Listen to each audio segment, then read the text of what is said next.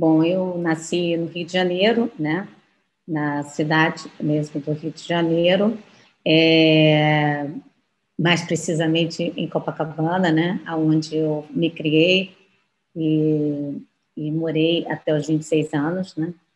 Quando finalmente eu fui tomar o meu rumo e sair da casa dos meus pais. É, minha infância foi muito agradável. Sempre houve muita união entre meus pais, eu e a minha irmã. Nós tínhamos, uh, está, nós tínhamos sempre muitos programas, né, é, juntos, muito, muito voltados para o Rio de Janeiro mesmo e muito voltado também para a questão da arte e da cultura, porque meus pais, como minha mãe, professora de história da arte, né, e meu pai é advogado, mas sempre foi muito interessado em, em, em cultura também, né? São dois intelectuais, vamos dizer assim.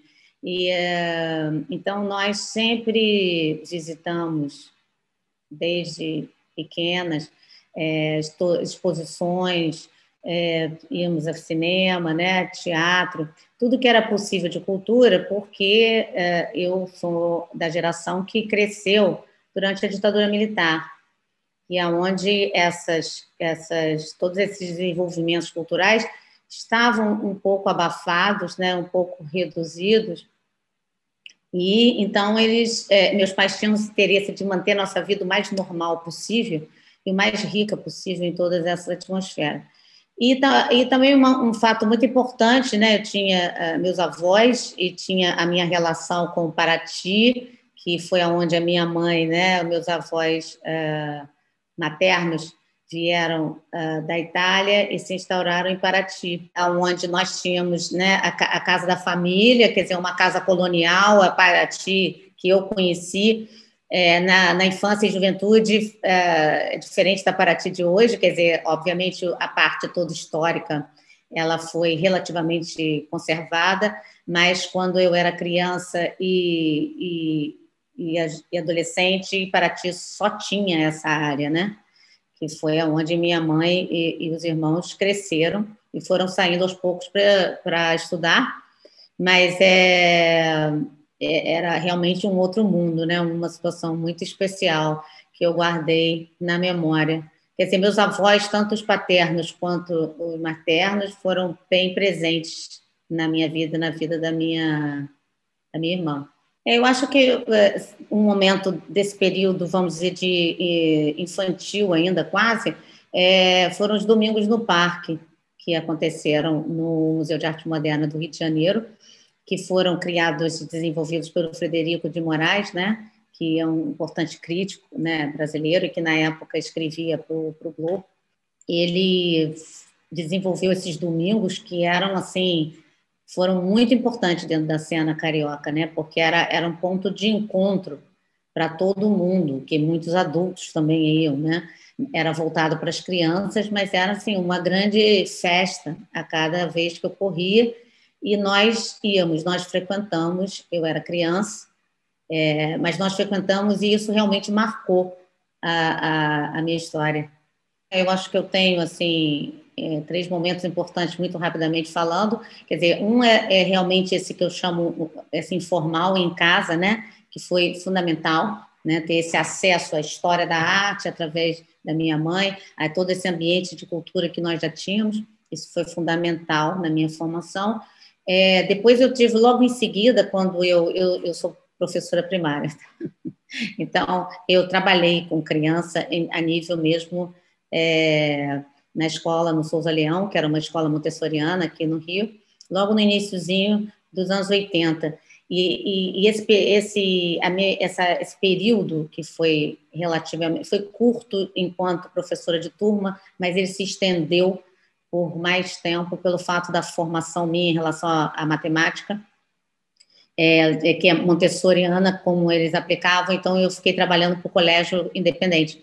Essa, a diretora, Leda Pellegrini, foi realmente um, um, outro momento de bastante aprendizado, não só através das crianças, mas foi um aprendizado para a vida, porque você vai vendo muito o que foi importante, né, ao passar do tempo, né, aquelas coisas que cada vez vão ficando mais fortes na sua lembrança, porque muitas coisas você só entende depois de alguns anos, né? Você acha que entendeu naquele momento, mas a real compreensão ela vai vindo com o tempo. E isso foi é, muito o que ocorreu. Esse período do Souza Leão, eu sempre achei ele muito rico, mas realmente cada vez mais, quer dizer, a Leda é minha amiga até hoje, e, e é, ele foi não só na relação com esses educadores fundamentais, como também na prática com as crianças, né? Esse, esse aprendizado enorme que é conviver com crianças. E o terceiro, que foi o Charles Watson, né, no, na escola do Parque Lage, quando eu finalmente, realmente ingressei. Na verdade, foi uma dica da minha, uma sugestão de, da minha mãe, né, de que eu fosse fazer um curso de verão. Eu sou, eu fiz, eu sou formada em jornalismo. Então, na verdade, eu queria ser jornalista, é, então, eu já estava no segundo ano, já tinha completado o segundo ano de faculdade, quando eu uh, não estava muito contente com, com o desenvolvimento da faculdade, e minha mãe me sugeriu, então, fazer um curso de verão no Parque Lage. É, e isso mudou, foi literalmente é, é no verão de, de 1980, e esse é, mudou realmente o curso de toda a minha história, porque ali é, eu me encontrei, é, eu, eu tive realmente essa sensação, hoje olhando para trás, é como se eu recebesse uma missão. É, eu nunca mais olhei para o lado e simplesmente segui em frente com relação a desenvolver o meu trabalho em arte.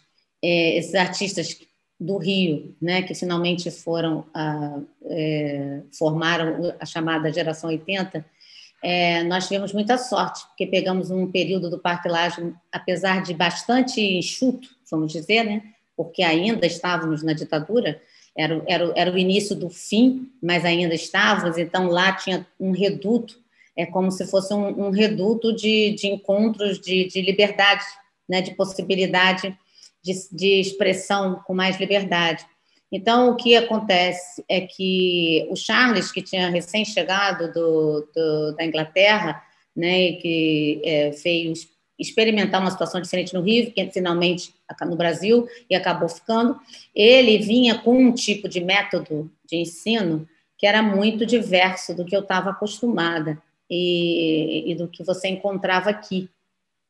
A escola tinha um programa, que na verdade até hoje ainda é o mesmo, é, de realmente colocar artistas, né, que eles desenvolviam os programas é, de maneira, vamos dizer, livre para aplicar e os, e os, alunos, os interessados, vamos dizer, iriam escolher o seu caminho e, e montar, então, um itinerário dentro da escola. Então, o Charles, eh, eu fiz um curso básico inicialmente, depois passei para pintura com ele, e ele foi meu professor nesse curso básico, e para mim foi muito interessante, assim, que muitas das coisas que ele falava, eu não entendia. Eu falava, o que é isso? Ele dava equações matemáticas, ele dava questões, eu falei, não, eu quero fazer arte, sabe? Tinham muitas coisas que é, eram não compreensíveis, mas que eu peguei como um desafio. Eu quero entender o que é isso, né? Então, quando eu terminei esse curso básico, eu fui ser aluna de pintura, porque eu também sempre, meu interesse sempre foi pintura. O momento que eu entrei na escola, eu queria trabalhar com pintura, e fui fazer o curso dele. E para mim foi realmente é, um período de extremamente rico, de trabalhar o raciocínio, que eu acho que esses três, é, esse triângulo que eu fiz aí de formação, na verdade, eu acho que o ponto que une todos eles, e que é um ponto muito importante, que é te abrir o espaço para aprender a raciocinar. Eu acho que tanto meus pais, como ah, essa, passagem pelo Souza Leão, e finalmente o Charles, esse triângulo, todos eles tinham isso em mente que era realmente desenvolver a, a possibilidade de que nós pudesse, que eu pudesse assim é, aprender a raciocinar. Nós da geração uh, 80, né, a chamada, o que aconteceu com a minha geração? A minha geração ela saiu da escola É, e imediatamente já tínhamos um espaço. É, foram, foram vários movimentos que ocorreram ao mesmo tempo. E que, na verdade, nós, é, estudantes de arte, não tínhamos um conhecimento de que isso estava se movendo, especialmente aqui no Rio de Janeiro. É, teve, existia o Salão Nacional de Artes Plásticas, que era desenvolvido pelo governo federal. Então, esse salão de 83 foi um salão que era o salão para. Uh, o júri percebeu que havia um grupo grande de jovens uh, trabalhando principalmente com pintura e que era forte, tinha, tinha uma resposta muito forte a essa questão da arte. Ali por esse mesmo grupo né, que participou do júri, foi organizada essa exposição, que se chamou né, Como Vai Você Geração 80 e inaugurou em julho de 84. É, paralelo a isso, havia também um movimento de mercado, havia um movimento das galerias, que isso, na verdade, vinha um pouco é, de um movimento internacional, e de, de se profissionalizar. Eu acho que o mercado ele chegou em lugares como, como o nosso país, assim, de uma maneira de que ele precisava se profissionalizar.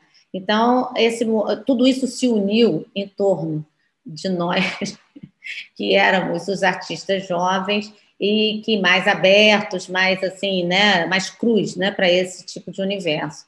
E da noite para o dia, é, estávamos uh, no jornal, galerias batendo na porta do seu ateliê e, já querendo organizar a exposição e também um movimento de venda. Então, eu acho assim, para quem pôde dialogar bem com isso, foi positivo, porque esse foi o rumo realmente, né? A partir dali, eu acho que a minha geração foi que abriu espaço para a profissionalização do mercado, que é, é, era fundamental e que ainda não é como deveria ser, mas eu ainda sou, vamos chegar lá.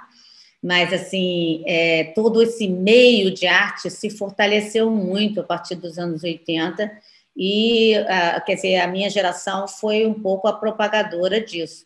Mas, obviamente, como tudo tem seu lado positivo e negativo, também era muita exposição muito interesse, muito movimento em, em cima, em torno de artistas que ainda eram muito jovens, né? Então tava, estávamos todos começando a desenvolver a linguagem, né? Então assim, é como eu falei, é, para quem pôde, né, dialogar bem com toda essa recepção foi positivo, mas para quem não pôde, obviamente, não foi tão positivo.